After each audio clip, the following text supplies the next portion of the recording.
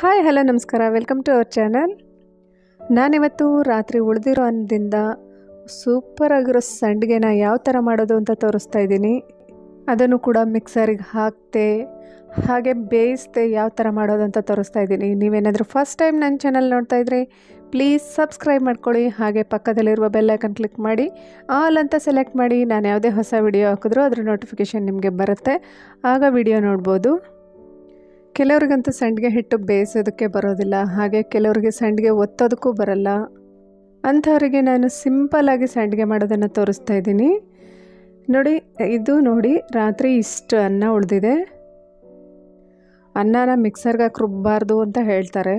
ಹಾಗಾಗಿ ತುಂಬ ಸಿಂಪಲ್ಲಾಗಿ ಯಾವ ಥರ ಸಂಡಿಗೆ ಮಾಡೋದು ಅಂತ ಹೇಳಿ ನಾನು ತೋರಿಸ್ತಾ ಇದ್ದೀನಿ ನಿಮಗೆ. ಈ ಥರ ಒಂದು ದೊಡ್ಡ ಪರಾತ್ ಅಥವಾ ಹರಿವಾಣ ಅಂತಾರಲ್ಲ, ಅದನ್ನು ತಗೊಳ್ಳಿ. ಅದಕ್ಕೆ ಮಿಕ್ಕಿರೋವಂಥ ಅನ್ನನೆಲ್ಲನೂ ಹಾಕ್ಕೊಳ್ಳಿ ಈಗ ಇದನ್ನು ಚೆನ್ನಾಗಿ ನಾದಬೇಕಾಗತ್ತೆ. ಚೂರು ಗಂಟು ಗಂಟು ಇರಬಾರ್ದು. ಆ ಥರ ಸ್ಮೂತಾಗಿ ಪೇಸ್ಟ್ ಆಗಬೇಕು, ಹಾಗೆ ನಾದಬೇಕಾಗತ್ತೆ. ಈಗ ನಾನು ಇದಕ್ಕೆ ಸ್ವಲ್ಪ ಬಿಸಿನೀರು ಕಾಯಿಸಿಟ್ಕೊಂಡಿದ್ದೀನಿ, ಅದನ್ನು ಹಾಕ್ತಾಯಿದ್ದೀನಿ ತಣ್ಣೀರು ಯಾವುದೇ ಕಾರಣಕ್ಕೂ ಹಾಕೋದಕ್ಕೆ ಹೋಗಬೇಡಿ. ಬಿಸಿನೀರನ್ನು ಹಾಕಿದ್ರೆ ಬೇಗ ಈ ಥರ ಪೇಸ್ಟ್ ಥರ ಆಗುತ್ತೆ, ನುಣ್ಣಗೆ ಪೇಸ್ಟ್ ಥರನೇ ಆಗುತ್ತೆ. ನೋಡಿ ಎಷ್ಟು ಚೆನ್ನಾಗಿ ಬೇಗ ಮೆತ್ತಗಾಯಿತು ಅಂತ.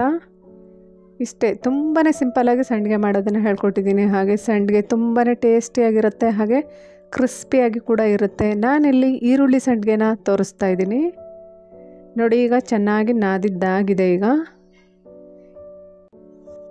ಈರುಳ್ಳಿ ಇಷ್ಟ ಇಲ್ಲ ಅನ್ನೋರು ಬೇಕಾದರೆ ಸ್ಕಿಪ್ ಮಾಡ್ಬೋದು. ಬೇಗನೆ ಮಾಡ್ಬೋದು, ಇದನ್ನು ಹತ್ತು ನಿಮಿಷಕ್ಕೆಲ್ಲ ಮಾಡ್ಬೋದು. ಸಾಮಾನ್ಯವಾಗಿ ರೊಟ್ಟಿಗೆಲ್ಲ ಈ ಥರ ನಾದ್ತಾನೆ ಇರ್ತೀವಿ.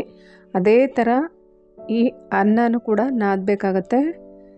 ನೋಡಿ, ಈ ಕನ್ಸಿಸ್ಟೆನ್ಸಿ ಬಂದರೆ ಸಾಕು. ನಮಗೆ ಉಂಡುಂಡೆ ಮಾಡಿದ್ರೆ ಉಂಡುಂಡೆ ಆಗಬೇಕು. ಆ ಕನ್ಸಿಸ್ಟೆನ್ಸಿ ಬರಬೇಕು.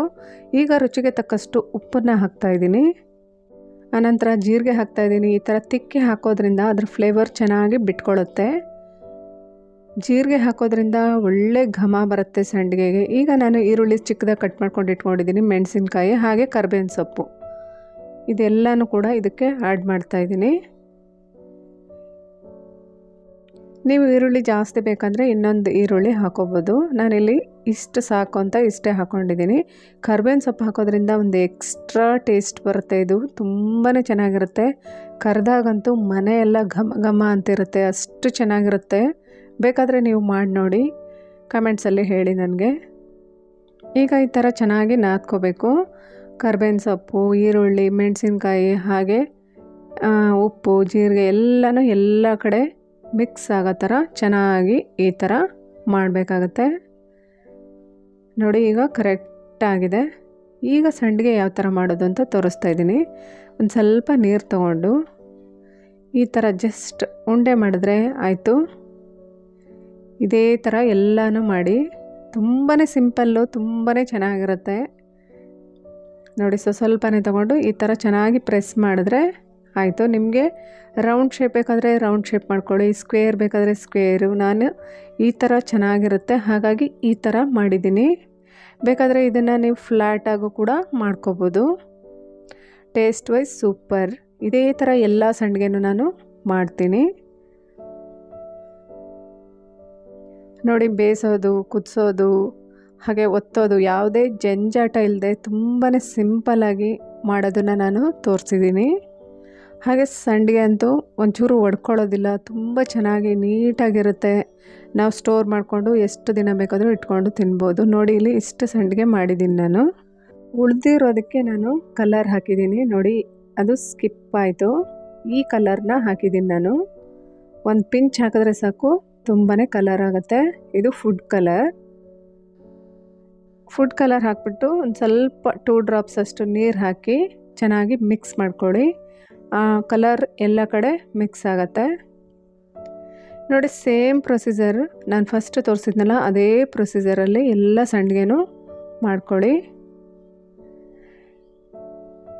ಫುಡ್ ಕಲರ್ ಬೇಡ ಅನ್ನೋರು ಬೇಕಾದರೆ ಸ್ಕಿಪ್ ಮಾಡ್ಕೋಬೋದು. ಬೇಕಾ, ಬೇಕು ಅನ್ನೋರು ಇನ್ನು ಗ್ರೀನ್ ಕಲರ್ ಬರುತ್ತೆ ಯೆಲ್ಲೋ ಕಲರ್ ಬರುತ್ತೆ ಬೇಕಾದರೆ ಹಾಕ್ಕೊಂಡು ಮಾಡ್ಕೋಬೋದು. ತುಂಬಾ ಚೆನ್ನಾಗಿರುತ್ತೆ ಕಲರ್ ಹಾಕೋದ್ರಿಂದ ಸೆಂಟ್ಗೆ ಕಲರ್ಫುಲ್ಲಾಗಿ ಕಾಣುತ್ತೆ ಅಟ್ರ್ಯಾಕ್ಟಿವ್ ಆಗಿ ಕಾಣುತ್ತೆ. ನೋಡಿ ಈಗ ಎಲ್ಲನೂ ಮಾಡಿದ್ದಾಗಿದೆ ಈಗ. ತೋರಿಸ್ತೀನಿ ನಾನು ವೈಟ್ ಸಂಡ್ಗೆ ಹಾಗೆ ಕಲರ್ ಸಂಡ್ಗೆ ನೋಡಿ, ಇಷ್ಟಾಗಿದೆ. ಈಗ ಇದನ್ನು ನಾನು ಬಿಸಿಲಿಗಿಡೋದಕ್ಕೆ ಟೆರೆಸ್ ಮೇಲೆ ಹೋಗ್ತೀನಿ. ನೋಡಿ ಟೆರೆಸ್ ಮೇಲೆ ಒಣಗೋದಕ್ಕೆ ಇಟ್ಟಿದ್ದೀನಿ. ಇದು ಎರಡರಿಂದ ಮೂರು ದಿನ. ಎರಡು ದಿನ ತುಂಬ ಬಿಸಿಲಿದ್ರೆ ಎರಡು ದಿನಕ್ಕೆಲ್ಲ ಒಣಗಿಬಿಡುತ್ತೆ. ಇಲ್ಲಾಂದರೆ ಮೂರು ದಿನ ತೊಗೊಳುತ್ತೆ. ತುಂಬ ಚೆನ್ನಾಗಿ ಒಣಗುತ್ತೆ. ನೋಡಿ ಈಗ ಒಣಗಿದೆ. ಎಷ್ಟು ಪಳ್ಳಾಗಿದೆ ಅಂತ ನೋಡಿ ಒಳಗಡೆ ತೋರಿಸ್ತೀನಿ ನಾನು. ಎಷ್ಟು ಪಳ್ ಪಳ್ಳಾಗಿ ಚೆನ್ನಾಗಿದೆ ಈಗ ನೋಡಿ ಒಂದು ಬಾಣಲಿನ ಇಟ್ಟಿದ್ದೀನಿ. ಅದಕ್ಕೆ ಎಣ್ಣೆ ಹಾಕಿ ಕಾಯೋದಕ್ಕೆ ಇಟ್ಟಿದ್ದೀನಿ. ಎಣ್ಣೆ ಕಾದ ನಂತರ ನಾನು ಸಂಡಿಗೆನ ಬಿಟ್ಟು ತೋರಿಸ್ತಾ ಇದ್ದೀನಿ ನೋಡಿ. ಎಷ್ಟು ಬೇಗ ಕರಿಯುತ್ತೆ ಅಂದರೆ ತುಂಬಾ ಪಳ್ಳಾಗಿರುತ್ತೆ ಫ್ರೆಂಡ್ಸ್ ನಾವು ನಾರ್ಮಲ್ ಸಂಡಿಗೆ ಮಾಡಿರ್ತೀವಲ್ಲ, ಅದಾದರೂ ಸ್ವಲ್ಪ ಗಂಟು ಗಂಟು ಇರುತ್ತೆ, ಆದರೆ ಇದು ಹಾಗಲ್ಲ. ತುಂಬಾ ಚೆನ್ನಾಗಿರುತ್ತೆ. ತುಂಬ ಕ್ರಿಸ್ಪಿಯಾಗಿ ಪಳ್ಳಾಗಿರುತ್ತೆ. ಬಾಯಲ್ಲಿಟ್ರೆ ಕರ್ಗೋಗುತ್ತೆ, ಅಷ್ಟು ಚೆನ್ನಾಗಿರುತ್ತೆ. ಟೇಸ್ಟ್ ವೈಸ್ ಅಂತೂ ಸೂಪರಾಗಿರುತ್ತೆ ನೋಡಿ ಈಗ ಎಷ್ಟು ಚೆನ್ನಾಗಿ ಬಂದಿದೆ ಅಂತ ನೋಡಿ. ಇದು ಈರುಳ್ಳಿ ಸಂಡಿಗೆ ನಾನು ತೋರಿಸಿರೋದು. ಇದೇ ವಿಡಿಯೋದಲ್ಲಿ ನೆಕ್ಸ್ಟ್ ನಾನು ಈರುಳ್ಳಿ ಹಾಕ್ತಾ ಇರೋ ಸಂಡಿಗೆನ ತೋರಿಸಿದ್ದೀನಿ. ನೋಡಿ ತುಂಬ ಸೂಪರಾಗಿರೋ ಸಂಡಿಗೆ ರೆಡಿಯಾಗಿದೆ ನೋಡಿ ಎಷ್ಟು ಪಳ್ಪಳ್ಳಾಗಿದೆ ಅಂತ ನಿಮಗೆ ನೋಡೋದ್ರಲ್ಲೇ ಗೊತ್ತಾಗುತ್ತೆ. ಹಾಗೆ ಡಿಸೈನ್ ಕೂಡ ತುಂಬಾ ಚೆನ್ನಾಗಿದೆ ಯೂನಿಕ್ ಆಗಿದೆ. ಈಗ ಇನ್ನೊಂದು ಬ್ಯಾಚ್ ಸಂಡಿಗೆನ ಕರೆದು ತೋರಿಸ್ತಾ ಇದ್ದೀನಿ ನೋಡಿ. ಬೇಗನೆ ಕರೆಯುತ್ತೆ, ಎಣ್ಣೆ ಹೀರ್ಕೊಳ್ಳೋದೇ ಇಲ್ಲ. ತುಂಬಾ ಚೆನ್ನಾಗಿರುತ್ತೆ. ಸಂಡಿಗೆಗೆಲ್ಲ ಸೋಡಾ ಹಾಕಿ ಮಾಡಿರ್ತಾರೆ, ಇದಕ್ಕೆ ನೋ ಸೋಡಾ. ತುಂಬಾ ಚೆನ್ನಾಗಿರುತ್ತೆ ಟೇಸ್ಟ್ ವೈಸ್ ಅಂತೂ ಸೂಪರಾಗಿರುತ್ತೆ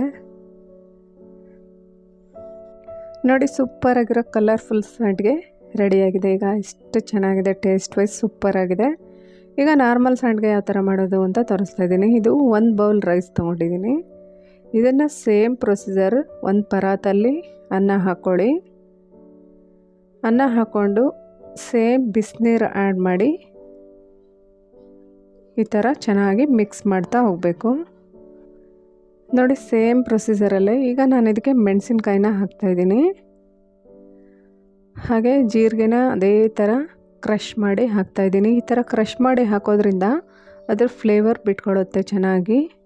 ನೀವು ಅಜ್ವಾಯಿನ್ ಬೇಕಾದರೂ ಹಾಕೋಬೋದು. ಈಗ ರುಚಿಗೆ ತಕ್ಕಷ್ಟು ಉಪ್ಪನ್ನ ಹಾಕ್ತಾಯಿದ್ದೀನಿ ಇದೆಲ್ಲನೂ ಒಂದು ಸಾರಿ ಚೆನ್ನಾಗಿ ಮಿಕ್ಸ್ ಮಾಡಿ. ನಾನು ಮುಂಚೆ ಸಂಡಿಗೆ ಮಾಡಿದ್ನಲ್ವ?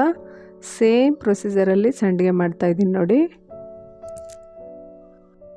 ಸೇಮ್ ಪ್ರೊಸೀಜರಲ್ಲಿ ಎಲ್ಲ ಸಂಡಿಗೆನೂ ಮಾಡಿದ್ದೀನಿ. ಇಲ್ಲಿ ನಾನು ಫ್ಲ್ಯಾಟ್ ಸಂಡಿಗೆ ಮಾಡಿ ತೋರಿಸ್ತಾ ಇದ್ದೀನಿ ನೋಡಿ. ನಾನು ಫಸ್ಟ್ಗೆ ಹೇಳ್ದಾಗೆ ನೀವು ಫ್ಲ್ಯಾಟ್ ಆದರೂ ಮಾಡ್ಕೋಬೋದು. ನಿಮಗೆ ಯಾವ ಆಕಾರ ಇಷ್ಟನೋ ಅದನ್ನು ಮಾಡ್ಕೋಬೋದು. ನೋಡಿ, ಎಲ್ಲ ಸಂಡಿಗೆನೂ ಅದೇ ಥರ ಮಾಡಿದ್ದೀನಿ ನೋಡಿ. ಈಗ ಸೇಮ್ ಪ್ರೊಸೀಜರಲ್ಲಿ ಒಣಗಿಸ್ತಾ ಇದ್ದೀನಿ. ಈಗ ಇದನ್ನು ಕೂಡ ಕರೆದು ತೋರಿಸ್ತೀನಿ. ಎಷ್ಟು ಚೆನ್ನಾಗಿ ಬರುತ್ತೆ. ಕಲರ್ ಅಂತೂ ಫುಲ್ ವೈಟ್ ತುಂಬಾ ಚೆನ್ನಾಗಿರುತ್ತೆ. ಈ ಸಂಡಿಗೆ ಟೇಸ್ಟ್ ವೈಸ್ ತುಂಬಾ ಡಿಫ್ರೆಂಟಾಗಿರುತ್ತೆ ಅದಕ್ಕೆ ನಾನು. ಇದು ಕೂಡ ಬಿಸಿಲು ಜಾಸ್ತಿ ಇದ್ದರೆ ಎರಡು ದಿನ ತೊಗೊಳುತ್ತೆ, ಇಲ್ಲಾದರೆ ಮೂರು ದಿನಕ್ಕೆ ಚೆನ್ನಾಗಿ ಒಣಗುತ್ತೆ. ನೋಡಿ, ಈಗ ತುಂಬಾ ಚೆನ್ನಾಗಿ ಒಣಗಿದೆ ಸಂಡಿಗೆ ಈಗ ಇದನ್ನು ಕರೆದು ತೋರಿಸ್ತೀನಿ ನಿಮಗೆ, ಎಷ್ಟು ವೈಟ್ ಕಲರ್ ಬರುತ್ತೆ. ನೋಡಿ, ಎಣ್ಣೆ ಕಾದಿದೆ ಆಲ್ರೆಡಿ. ಈಗ ಸಂಡಿಗೆನ ಬಿಟ್ಟು ತೋರಿಸ್ತೀನಿ. ಎಷ್ಟು ಚೆನ್ನಾಗಿ ವೈಟ್ ಕಲರ್ ಬರುತ್ತೆ ಅಂತ ನೀವೇ ನೋಡಿ. ನೋಡಿ.